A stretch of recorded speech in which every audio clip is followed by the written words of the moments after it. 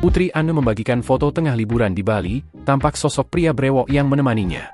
Putri Anne sendiri tengah jadi buah bibir setelah kabar perceraiannya dengan Arya Saloka, karena digosipkan menjalin hubungan dengan pria brewok. Pria brewok tersebut diketahui bernama Raman Sharma.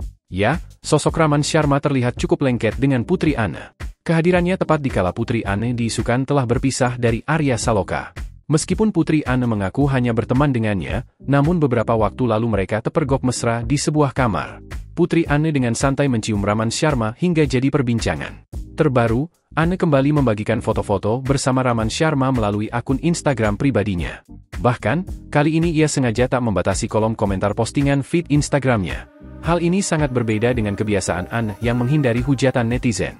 Foto-foto tersebut memang diambil pada bulan Desember lalu, saat Putri Anne dan kedua teman prianya berjumpa di sebuah acara di Bali. Melalui caption, Anne mengatakan mereka merupakan sama-sama berzodiak Gemini.